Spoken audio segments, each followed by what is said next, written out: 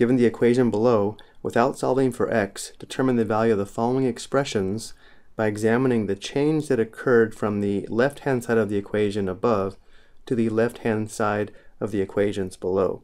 Then determine which operation transformed the equation. So we are given that the quantity 2x plus 4 divided by 5 equals 9.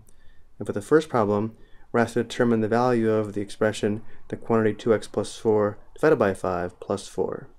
So beginning with the given equation, we know this expression is equal to 9.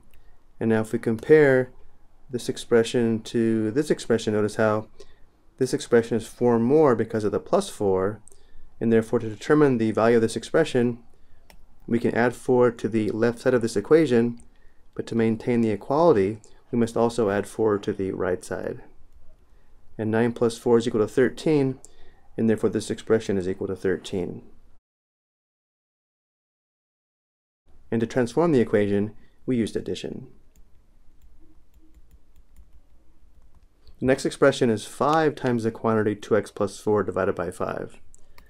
And again, beginning with the original equation, we know this expression is equal to positive 9, but we want to determine the value of the expression 5 times this expression. So using the given equation, if we multiply the left side of the equation by 5, notice how this expression now matches the expression we want to determine the value of. If we multiply the left side of the equation to maintain the equality, we must also multiply the right side by 5. And 5 times 9 is 45, which gives us the value of this new expression. And we use the operation of multiplication to transform the equation. The next expression is the opposite of the quantity 2x plus 4 divided by 5. Well, again, we know the quantity 2x plus 4 divided by 5 is equal to positive 9. If we want the opposite of this, we can take the opposite of the left side of the equation as long as we also take the opposite of the right side to maintain the equality which means this expression must equal the opposite of positive 9 or negative 9. The operation performed is taking the opposite.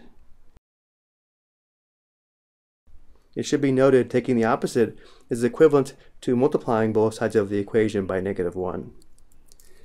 And for the last example, we want to determine the value of the expression the quantity 2x plus 4 divided by 5 minus 4, given we know the quantity 2x plus 4 divided by 5 is equal to positive 9.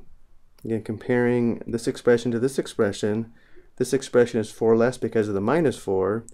To determine the value of this expression, we need to subtract 4 on the left side of the equation, which we can do as long as we also subtract 4 from the right side to maintain equality. Because 9 minus 4 is equal to 5, this expression is equal to positive 5. The operation performed was subtraction.